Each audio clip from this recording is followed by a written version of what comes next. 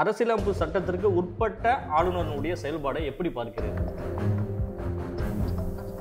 முக்கிய ஆவணங்கள் அழிக்கப்பட்டு விட்டன என்று சொன்னால் அது காவல்துறை செய்து விட்டதாக அதனுடைய கருத்து. இந்த உபா சட்டம்லாம் வேணாம் அப்படிங்கிறதுக்கு எதிராக ஸ்ட்ராங்காக இன்னைக்கு வரைக்கும் அமைப்புகள் பேசிட்டு இருக்காங்க. இதை எப்படி பார்க்குறீங்க? அவர்கள் இந்துக்களா இஸ்லாமியர்களா கிறிஸ்துவர்களா என்கின்ற பாகுபாடு கூட ஏதோ அந்த சமூகமே ஒரு தீவிரவாத சமூகம் அந்த ஜாதியே ஒரு தீவிரவாத ஜாதி. ஏன்னா எதிர்க்கட்சிகள் ஆளுகிற மாநிலங்களில் தான் வருமான வரித்துறை செயல்பாடு இருக்கிறது. பாரதிய ஜனதா ஆளுகிற மாநிலங்களில் அந்த செயல்பாடே இல்லை. நாம கேட்குறது அவர்களுக்கு அது பொருந்தும் என்றால் ஏன் அது இவர்களுக்கு பொருந்தும்? சமூக நீதி அப்படின்னா கே சிலருடைய பார்வையில் எதாக இருக்கு. மதசார்பின்மை என்பது என்னவென்றால் எனக்கு மத நம்பிக்கை இருக்கிறது நான் ஒரு உண்மையான இந்து. பொருளாதார ரீதியாக பின்தங்கிய ஏழை மக்களுக்கு பத்து சதவிகிதம் இடம் வழங்க வேண்டும் என்பதை காங்கிரஸ் ஏற்கும் அதிமுகவெல்லாம் காங்கிரஸ் நம்பாது ரஜினிகாந்த் பிஜேபி ஆதரித்து குரல் கொடுத்தார்.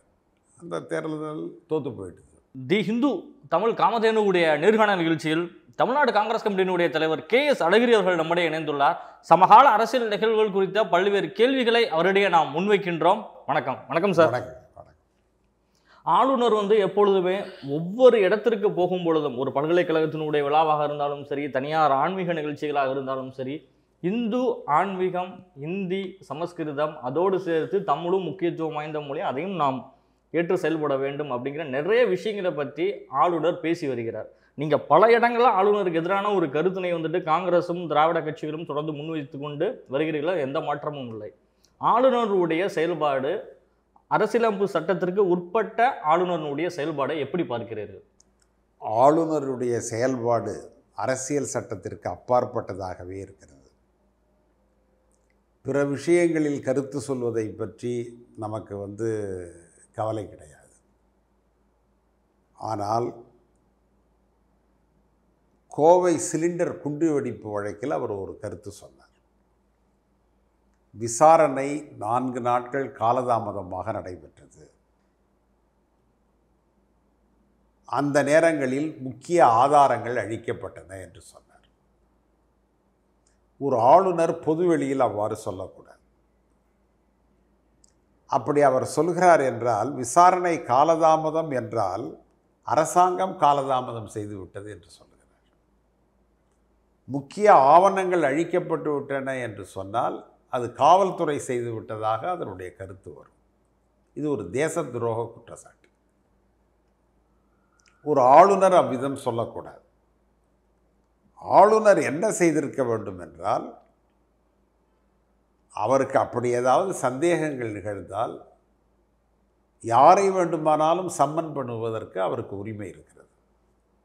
முதலமைச்சரை அழைத்து பேசியிருக்கலாம் தலைமை செயலாளரை அழைத்து பேசியிருக்கலாம் உள்துறை செயலாளரை அழைத்து பேசியிருக்கலாம் காவல்துறை தலைவரை அழைத்து பேசியிருக்கலாம். நான் இவ்வாறு கருதுகிறேன் விரைந்து செயல்படுங்கள் என்று சொல்லியிருக்கலாம். அதுதான் அவருடைய எல்லை. நீங்கள் ஒரு கட்சியினுடைய செய்தி தொடர்பாளர் போல் வெளியிலே வந்து ஒரு அரசாங்கத்தை குறை சொல்வது வந்து மரபுகளுக்கு அப்பாற்பட்டது. அதுவும் சாதாரண விஷயத்தில் அவர் சொல்லவில்லை. ஒரு பாதுகாப்பு விஷயத்தில் சொல்லியிருக்கிறார். எனவே இதை போன்ற ஒவ்வொரு செயலுமே இப்பொழுது உதாரணமாக ஆன்லைன் சூதாட்டம் அது தேசத்துக்கு மிகுந்த சிரமத்தை கொடுக்கிறது. மக்கள் பாதிக்கப்படுகிறார்கள். அதற்கு எதிராக ஒரு தீர்மானம் தடை செய்வதற்காக சட்டமன்றத்தில் நிறைவேற்றப்பட்டிருக்கிறது. அதற்கு ஒப்புதல் கொடுக்காமல் அந்த தீர்மானம் காலாவதியாகிவிட்டது. நீங்கள் இதுக்கெல்லாம் கருத்து சொல்கிறவங்க அதில் உடனடியாக செயல்பட்டு உங்களுக்கு மாற்று கருத்து இருந்தால் சட்டத்துறை அமைச்சரையோ தலைமை செயலாளரையோ அழைத்து அதை திருத்தி கொண்டு வரச் செய்து அதற்கு நீங்கள் ஒப்புதல் அளித்திருக்க வேண்டுமே ஒழிய இது தவறான செயல். இதை ஏற்றுக்கொள்ள முடியாது. எனவே இதுதான் அவர் மீது நாங்கள் சொல்லுகிற குற்றச்சாட்டு. கோவை கார்பிடி பொழப்பா வழக்குகளாக இருந்தாலும் சரி அனைத்து வயசிலும் தமிழ்நாட்டினுடைய சட்டம் ஒழுங்கு அப்படிங்கிறது வந்துட்டு எந்த அளவில் இருக்குன்னு நினைக்கிறீங்க? ஒரு கூட்டணி கட்சியா? சட்டம் ஒழுங்கு மிக சிறப்பாக இருக்கிறது. அரசாங்கம் எந்த ஒரு விஷயத்திலும் உடனடியாக நடவடிக்கை எடுக்கிறார்கள். சட்டம் ஒழுங்கை பாதுகாக்கிறார்கள். நீங்கள் ஒரு பிரச்சனை வருகிற பொழுது அரசு சும்மாக இருப்பதில்லை. அல்லது அதை சமாதானப்படுத்துவதில்லை நியாயப்படுத்துவதில்லை காலதாமதத்தை நியாயப்படுத்துவதில்லை. எது நிகழ்ந்தாலும் அவர் ஒரு குறை என்றால் அந்த குறையை தட்டி கேட்கிறார்கள். இப்போ உதாரணமாக தூத்துக்குடியில் துப்பாக்கி சூடு நடந்தது. அந்த அரசாங்கம் ஒரு நேரத்தில் என்ன செஞ்சுட்டுனா எங்களுக்கு தெரியாதுன்னு சொல்லிட்டாங்க தட்டி கழிச்சிட்டாங்க. அது வந்து ஒரு அரசாங்கத்தினுடைய பொறுப்பு அல்ல. ஒன்று அவர்கள் அதை தடுத்திருக்க வேண்டும். தடுத்திருப்பது தான் முறை. எப்படியாவது அந்த வன்முறையை அவர்கள் வேறு விதமாக கலைத்து அனுப்பியிருக்க வேண்டும் ஒழிய பனிரெண்டு பதிமூன்று உயிர்களை அழிப்பது என்பது ஏற்றுக்கொள்ளக்கூடியது அல்ல. அது அவர்கள் செய்த மிகப்பெரிய தவறு. ஆனால் இந்த அரசாங்கம் அப்படி இல்லை. இப்போ கனியாமூரில் பிரச்சனை ஏற்பட்டது. காவல்துறைக்கு அவர்கள் உடனடியாக ஒரு உத்தரவிட்டார்கள். வன்முறை நிகழ்கிறது. வன்முறையை முடிந்தவரை தடுத்து தடுத்து விடுங்கள். ஒரு எதிர் வன்முறை வேண்டாம். அரசு வன்முறை அதில் வேண்டாம். துப்பாக்கி சூடு வேண்டாம். கூட்டத்தை கலைத்து விடுங்கள் என்று சொல்லி தான் கூட்டத்தை கலைத்தார்கள். அதே நேரத்தில் அதில் அந்த குற்றத்திற்கு அந்த வன்முறைக்கு காரணமானவர்கள் மூவாயிரம் பேருக்கு மேலே கைது செய்து விசாரித்து வருகிறார்கள். அதுதான் ஒரு அரசினுடைய நடைமுறை.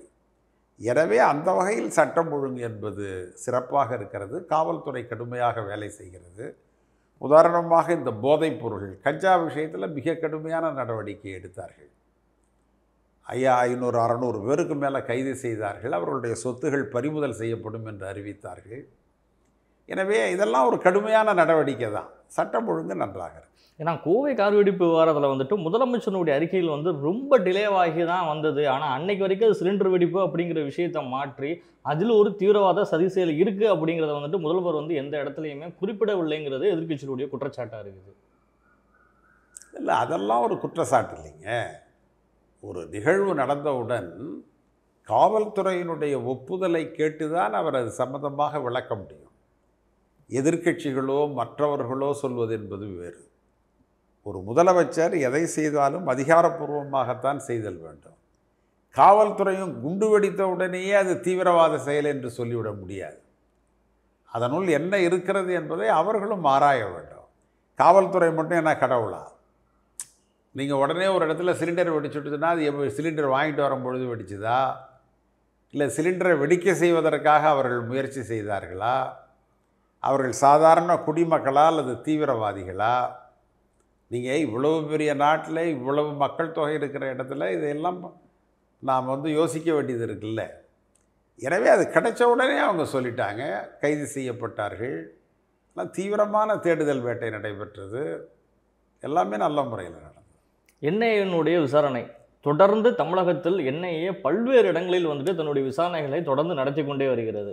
குறிப்பாக இஸ்லாமியர்கள் சமூகத்தில் சம்மந்தப்பட்டவர்கள் அப்படிங்கிற ஒரு கான்செப்டில் நிறைய இடங்களில் என்ஐஏனுடைய சோதனை வந்துட்டு நடந்துட்டு இருக்குது அதை என்ஐஏ செய்யக்கூடாது அப்படின்னு சொல்லி பல்வேறு இஸ்லாமிய அமைப்புகள் வந்துட்டு குரல் கொடுத்துட்டு இருக்கிறாங்க உபா சட்டம்லாம் வேணாம் அப்படிங்கிறதுக்கு எதிராக ஸ்ட்ராங்காக இன்னைக்கு வரைக்கும் அமைப்புகள் பேசிட்டு இருக்காங்க. இதை எப்படி பார்க்குறீங்க? இல்லை அப்படியெல்லாம் ஒன்று வந்து எதுவும் வேண்டாம் என்றெல்லாம் சொல்லிட முடியாது. நீங்கள் வந்து தேசத்தில் பாதுகாப்பு என்பது முக்கியம். என்ஐஏ என்பது ஒரு அரசாங்கத்தினுடைய ஒரு அமைப்பு. புலன் விசாரணை செய்கிற தீவிரவாதத்தை விசாரணை செய்கிற அமைப்பு. அவர்கள் ஒரு இடத்தில் சென்று விசாரணை செய்கிறார்கள் என்றால் அவர்கள் இந்துக்களா இஸ்லாமியர்களா கிறிஸ்துவர்களா என்கின்ற பாகுபாடே கூடாது. யா எல்லா சமூகங்களிலும் தீவிரவாதிகள் இருக்கிறார்கள். நீங்கள் வந்து ஒரு தீவிரவாதி அவன் சார்ந்திருக்கிற சமுதாயத்தின் பெயரால் அடையாளப்படுத்தக்கூடாது.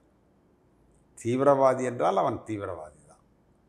என்ன என்னையே அவன் வந்து எந்த சமூகம் எந்த ஜாதி எந்த மொழி பேசுகிறான் இதெல்லாம் சொன்னீங்கன்னா ஏதோ அந்த சமூகமே ஒரு தீவிரவாத சமூகம் அந்த ஜாதியே ஒரு தீவிரவாத ஜாதி அந்த மொழி பேசுகிறவர்களே தீவிரவாதிகளாகத்தான் இருப்பார்கள் என்கின்ற எண்ணம் ஏற்படும். எனவே அதெல்லாம் தவறு. என்னை பொறுத்தவரை என்னையே வேறு நோக்கங்களோடு செய்கிறார்களா என்பது இதுவரை அப்படிலாம் அல்ல. இப்போ வந்து வருமான வரித்துறை அரசியல் ரீதியாக செயல்படுகிறார்கள் என்கிற குற்றச்சாட்டு வந்திருக்கிறது. அந்த குற்றச்சாட்டும் ஓரளவிற்கு உண்மையாக இருக்கிறது. ஏன்னா எதிர்க்கட்சிகள் ஆளுகிற மாநிலங்களில் தான் வருமான வரித்துறை செயல்பாடு இருக்கிறதே ஒழிய பாரதிய ஜனதா ஆளுகிற மாநிலங்களில் அந்த செயல்பாடே இல்லை. அப்படின்னா பாரதிய ஜனதா செயல்படுகிற மாநிலங்கள்லாம் அவ்வளோ பேரும் அரிச்சந்திரர்களாக இருக்கிறார்களா என்றால் அது உண்மையும் அல்ல. அதை போன்ற ஒரு அவப்பெயருக்கு வருமான வரித்துறை உட்படுத்தப்பட்டிருக்கிறது. ஆனால் என்னையை பொறுத்த வரைக்கும் இதை மாதிரி வரல. எனவே அது ஒரு புலன் விசாரணை அமைப்பு. அவசரப்பட்டு அப்படி சே நாம் வந்து குற்றம் சொல்லிவிட முடியாது. பொறுத்திருந்து பார்ப்போம்.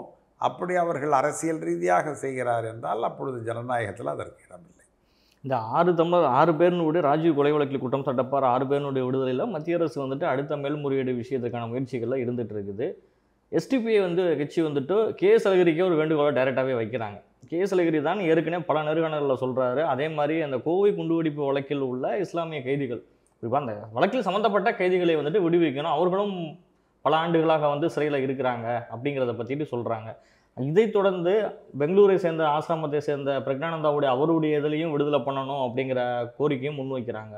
இது ஒரு முன் உதாரணமாக வைத்துக்கொண்டு பல்வேறு நபர்கள் வந்துட்டு உச்சநீதிமன்றத்திற்கு இப்போ வழக்குக்கு போகிறாங்க எங்களை வந்து விடுதலை பண்ணுங்க அப்படிங்கிறது. இந்த போக்கை எப்படி பார்க்குறீங்க? ஒரு நாட்டினுடைய அரசியலமைப்பு சட்டத்துக்கு உட்பட்டு இருந்து ஒரு பிரதமரே கொலை செய்யப்படுகிறார் ஒரு முன்னாள் பிரதமர் அப்படிங்கிற அடிப்படையில் இவர்கள் தொடர்ந்து விடுதலை அப்படிங்கிற விஷயத்தை அப்புறம் எல்லா கேஸுக்குமே இது ஒரு முன்னுதாரணமாக மாறி போகாதா? அது அப்படி தான் ஆயிட்டுது. நீங்கள் எதையுமே இப்போ நீங்கள் என்ஐஏ பற்றி நீங்கள் கேள்வி கேட்டீங்க. நான் ஏன் அதை உடனே என்ஐஏ மேலே குற்றச்சாட்டு சொல்ல?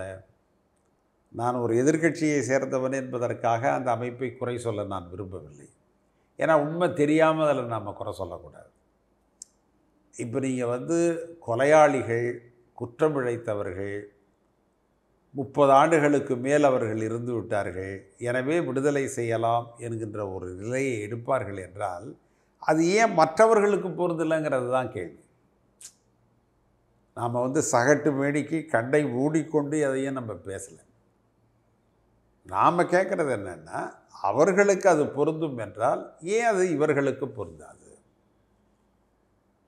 நீங்கள் அது வந்து அந்த கேள்விக்கு உரியவர்கள் பதில் சொல்லணும் அரசாங்கம் பதில் சொல்லணும். நீதிமன்றம் பதில் சொல்லணும். அல்லது இவர்களை விடுவிக்க வேண்டும் என்று கோஷம் எழுப்பியவர்கள் பதில் சொல்லணும். மொத்தத்தில் அந்த பதில் ஜனநாயகத்தில் எதிர்பார்க்கக்கூடியது தான் நீங்கள் வந்து குழந்தை பிறந்த பொழுது சிறைக்கு சென்ற பல இஸ்லாமியர்கள் முப்பது வருஷமாக இன்னும் அவங்க குழந்தைய பார்க்காமையே இருக்கிறாங்க வீட்டுக்கு வர முடியல. ஏன் நீங்கள் வந்து அவர்கள் மேலே குற்றப்பத்திரிகை தாக்கல் செய்யவில்லை? அல்லது அவர்கள் மீது விசாரணை செய்து அவர்களை வந்து குற்றம் இழைத்தவர்கள்னு சொல்ல நான் குற்றம் இழைத்தவர்களுக்காக ஒரு பொழுதும் பேச மாட்டேன். அது யாராக இருந்தாலும் சரி. நமக்கு வந்து அந்த சிந்தனை கிடையாது. ஒருவருக்கு ஒன்று பொருந்தும் என்றால் ஏன் மற்றவருக்கு அது பொருந்தாது? அதுதான் சமூக நீதி அப்படின்னா கே சிலருடைய பார்வையில் எதாக இருக்குது சமூக நீதி என்பது இதுவரை உரிமைகள் மறுக்கப்பட்ட மக்கள் ஐயாயிரம் ஆண்டுகளாக நம்முடைய சமூகத்தில் இருக்கிறார்கள். ஏராளமான மக்கள் இருக்கிறார்கள். அவர்கள்தான் பெரும் தொகை. அவர்களுக்கெல்லாம் அந்த உரிமை வழங்கப்பட வேண்டும். நீங்கள் சுதந்திரம் அடைந்தவுடன் அரசியல் சட்டத்தில் முதல் திருத்தத்தை நாம் கொண்டு வந்தோம். அந்த முதல் திருத்தம் என்னவென்றால் பிற்படுத்தப்பட்டவர்கள் தாழ்த்தப்பட்டவர்களுக்கு கல்வியில் வேலை வாய்ப்பில் முன்னுரிமை அளிக்க வேண்டும் என்கின்ற சட்டம் கொண்டு வர திருத்தப்பட்டது. ஜவஹர்லால் நேரு அதனை செய்தார். காங்கிரஸ் கட்சி தான் இந்த இடஒதுக்கீட்டினுடைய பிதாமகர்கள். அப்பொழுது நாடாளுமன்றத்தில் தொண்ணூறு சதவிகிதம் உயர் வகுப்பை சார்ந்தவர்கள் தான் நாடாளுமன்ற உறுப்பினர்களாக இருந்தார்கள். அவர்கள் மத்தியில் ஒரு முணுமுணுப்பு வந்தது. அப்பொழுது அவர் சொன்னார் இந்த நாடு எதற்காக சுதந்திரம் பெற்றது? இந்த மக்களுக்கெல்லாம் நன்மை செய்ய வேண்டும் என்பதற்காக தான் சுதந்திரம். இவர்களையெல்லாம் மேம்படுத்த வேண்டும் என்பதற்காக தான் இந்த சுதந்திரத்தை பெற்றோம். எனவே அது ஆங்கிலேயர் காலத்திய சட்டம் அப்படியே இருக்கக்கூடாது. அந்த சட்டத்தில் மாற்றம் செய்து இந்த மக்களுக்கும் கொஞ்சம் முன்னுரிமை கொடுக்க வேண்டும் இடஒதுக்கீடு வழங்க வேண்டும். என்றுதான் முதல் அரசியல் சட்டம் திருத்தப்பட்டது.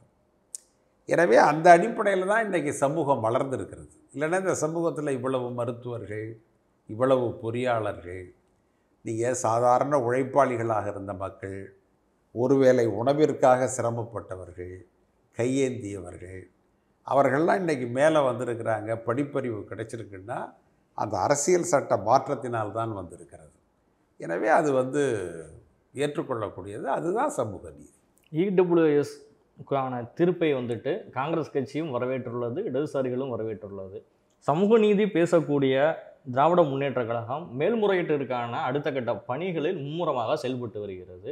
ஒரு கூட்டணி கட்சியாக இருந்தாலும் பார்த்தோம்னா சாதி அடிப்படையிலான இடஒதுக்கீடு மட்டுமே எங்களுடைய நோக்கமே தவிர்த்து பொருளாதார அடிப்படையிலான இடஒதுக்கீடை என்றும் திராவிட முன்னேற்ற கழகமும் திராவிட அரசியல் வந்து ஏற்றுக்கொள்ளாது. அதுதான் சமூக நீதினு ஒரு முதலமைச்சரே சொல்கிறார் இல்லை அவர்களுடைய கருத்து. நான் என்ன சொல்கிறேன்னா மதசார்பின்மை சமூக நீதி இதை போன்ற ஒவ்வொன்றிலும் ஒவ்வொரு அரசியல் கட்சிக்கும் இதை ஆதரிக்கிறவர்களுக்கும் பல்வேறு விதமான கருத்துகள் இருக்கின்றன. இப்போ மதசார்பின்மையில் நிறைய மக்களுக்கு என்ன சந்தேகம் வரும்னா மதசார்பின்மையோடு நடந்து கொள்ள வேண்டும் என்றால் அது மதத்திற்கு எதிரானதா? கடவுள் மறுப்பா?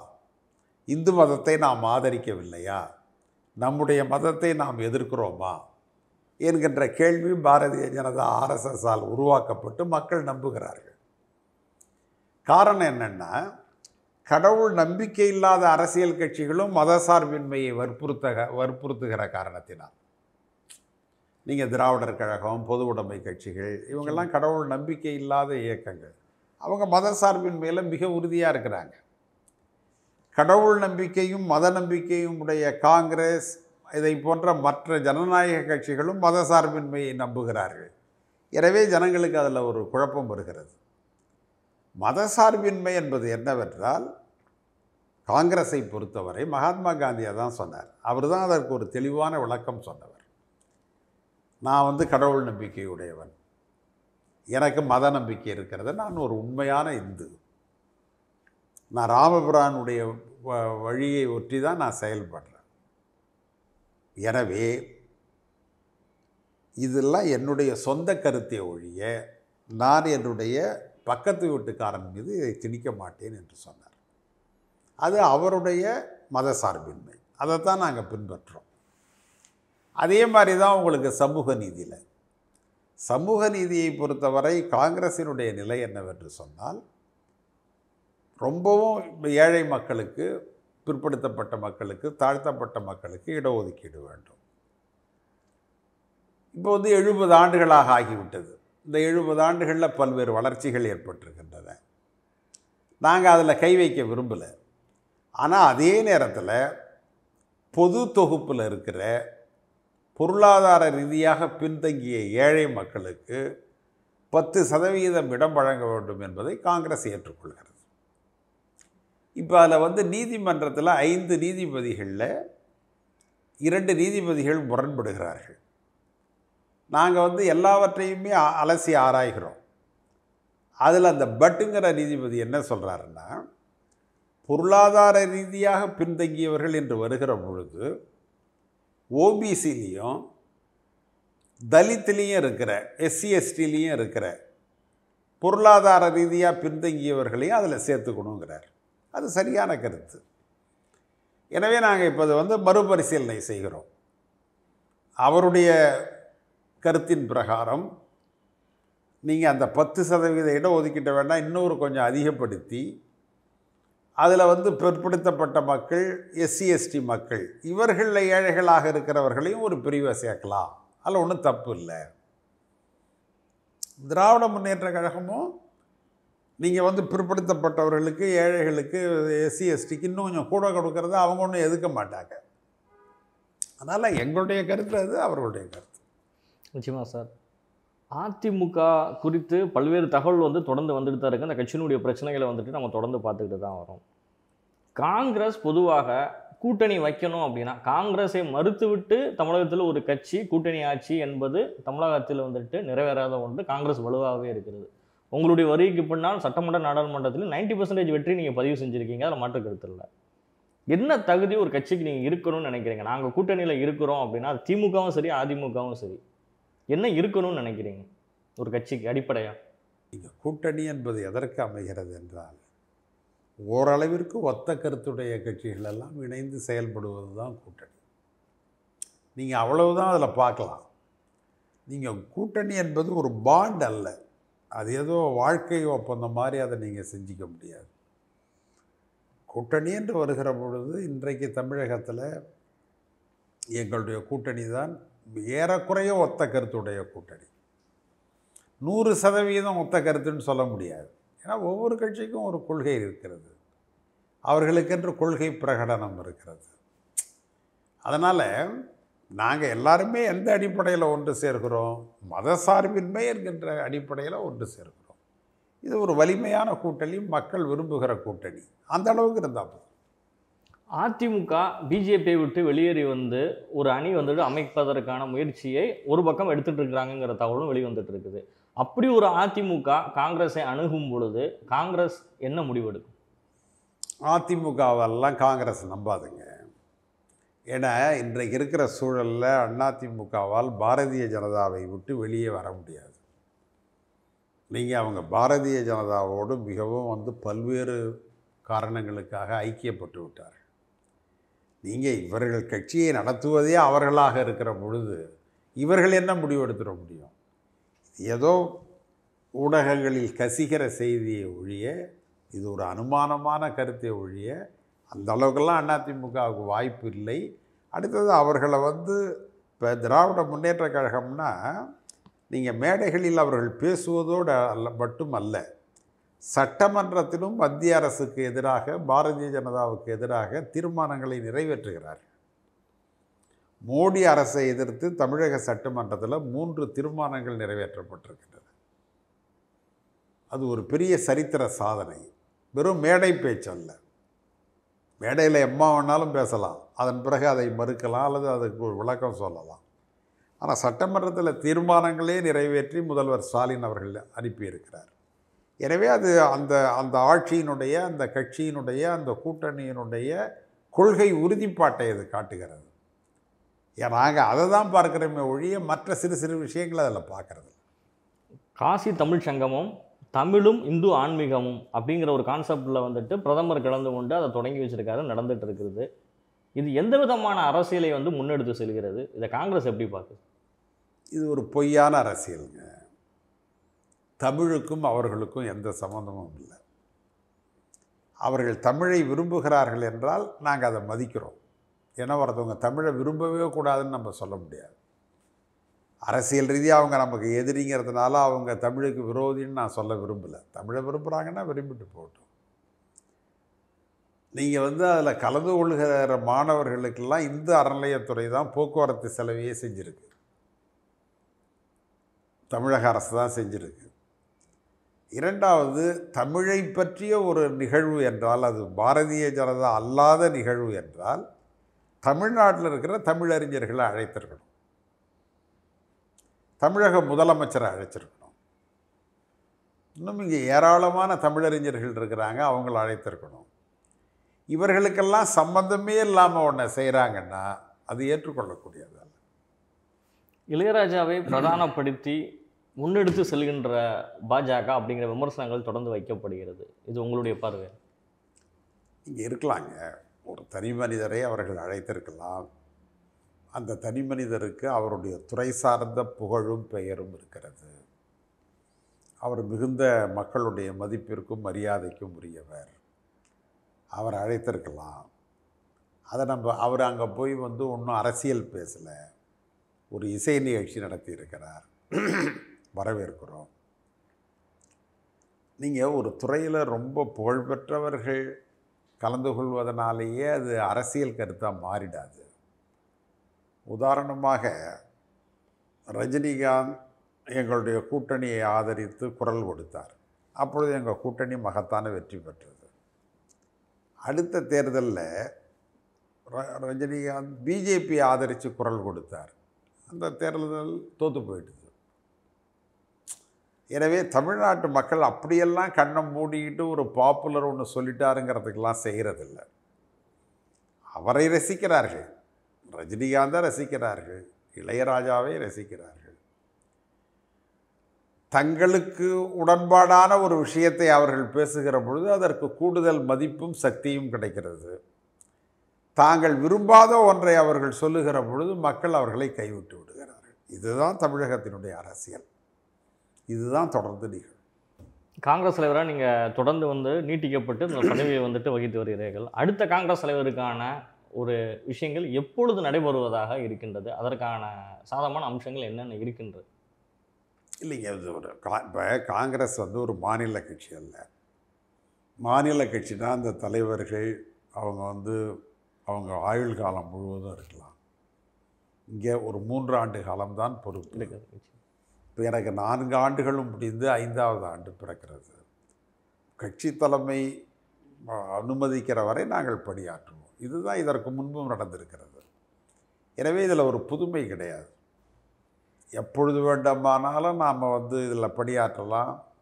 நீங்கள் பொறுப்பு இல்லைன்னாலும் பணியாற்றலாம். இப்போ நான் வந்து எனக்கு பொறுப்பு வேண்டும் என்பதற்காகவும் என்னுடைய தலைமையை நான் அணுகியது கிடையாது. பொறுப்பு நீடிக்க வேண்டும் என்பதற்காகவும் தலைமையை அணுகியது கிடையாது. என்னுடைய மனநிலை ஒரு ஒரு ஒரு கடமையை எனக்கு கொடுப்பீர்கள் என்றால் செய்வேன். போதும் என்றால் நிறுத்திக் கொள்வேன். நிச்சயமா சார். இறுதியான கேள்வி. காங்கிரஸில் பொதுவாக எந்த பிரச்சனையும் எழுந்தாலும் அதை எதிர்கொள்கிற விதத்தில் நீங்கள் எந்த மாதிரி வந்து ஃபேஸ் பண்ணுறீங்க எந்த அளவுக்கு அரவணைத்து செல்கிறீர்கள்? இயல்பான நிலையில் இருப்பது தான் நீங்கள் வந்து சமூகத்தில் குடும்பத்தில் தொழிலில் பிரச்சனைகள் என்பது இருக்கத்தான் செய்யும். ஒரு அரசியல் கட்சியில். அதை நாம் இயல்பாக அணுகுதல் வேண்டும் அவ்வளோதான் அதற்கு மேலே அதில் ஒரு பெரிய கவனம் செலுத்தக்கூடாது. நிச்சயமாக சார். உங்களுடைய நேரங்களை ஒதுக்கி இந்த ஹிந்து தமிழனுடைய காமதேனுடைய டிஜிட்டல் டிவி நேர்காணல் நிகழ்ச்சியை கலந்து கொண்டு பல்வேறு கேள்விகளுக்கு பதில் தந்தமைக்கு நன்றி சார்.